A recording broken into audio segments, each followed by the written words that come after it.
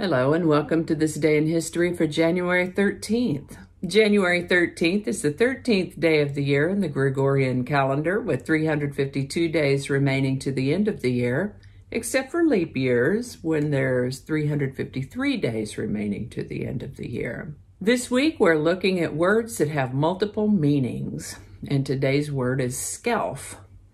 Skelf is a noun that means a splinter, a tiny amount of something, a thin or slight person, or an annoying or troublesome person.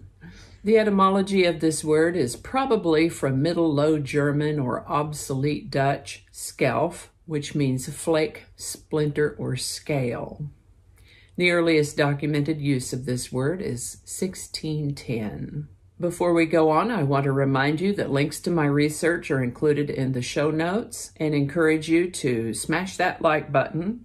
Don't forget to click the little bell so you can get notifications when videos come out. Share this around and let me know what you think in the comments section. And with that, we're going to start in the year 1128 when the Pope recognized the Knights Templar. On January 13, 1128, Pope Honorius II granted a papal sanction to the military order known as the Knights Templar, declaring it to be the army of God. In 1807, Union General Napoleon Bonaparte Buford was born in Woodford, Kentucky. In 1842, Dr. William Brydon an assistant surgeon in the General East India Company Army during the First Anglo Afghan War, became famous for being the sole survivor of an army of 4,500 men and 12,000 camp followers when he reached the safety of a garrison in Jalalabad, Afghanistan. So this sort of thing's been going on for a long time. In 1885, Canadian-American businessman Alfred Fuller, who founded the Fuller Brush Company, Alfred was born on this day in 1885. He lived to the age of 88. And by the way, if you happen to be old enough to remember Fuller brushes and you're wondering whatever happened to them. They were acquired by Consolidated Foods in 1968 and changed hands several times since then and is currently owned by the Galaxy Brush Company LLC in Lakewood, New Jersey.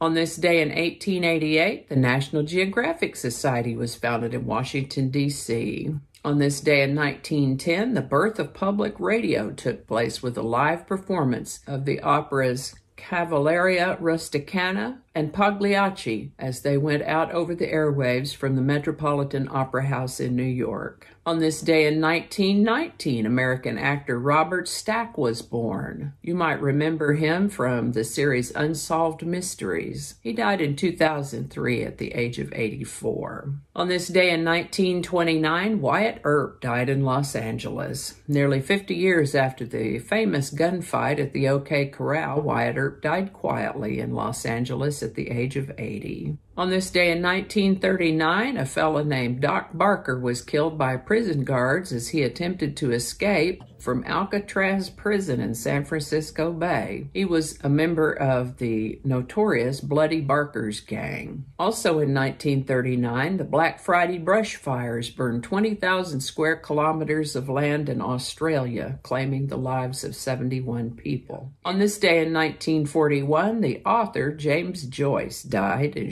Zurich, Switzerland at the age of 58. On this day in 1950, Soviets boycotted the United Nations Security Council. For the second time in a week, Jacob Malik, the Soviet representative to the United Nations, stormed out of a meeting of the Security Council, this time in reaction to the defeat of his proposal to expel the nationalist Chinese representative. Ernie Kovacs was a comedian who hosted his own television shows during the 1950s and is said to have influenced such TV hosts as Johnny Carson and David Letterman. I believe that.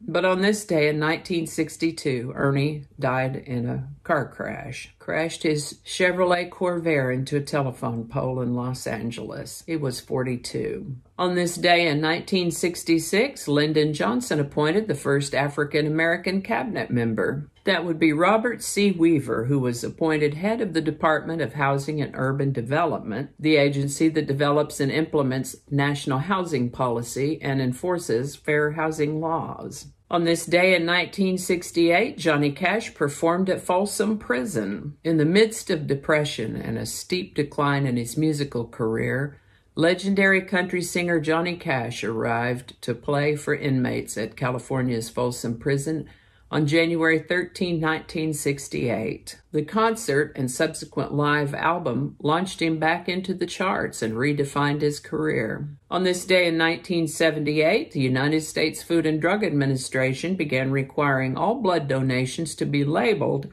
paid or volunteer donors. On this day in 1990, Douglas Wilder became the first elected African American governor as he took office as governor of Virginia and Richmond, Virginia. And on this day in 1999, Michael Jordan retired for a second time. And I think that's going to do it for us today. As always, links to my research are included in the show notes. Thanks for watching. Give it a like if you enjoyed this video. Consider subscribing if you haven't already. Feel free to share this video and share your thoughts in the comments section. While you're here, check out my other channel, 8 Susquehanna. Thanks again, and I'll see you next time.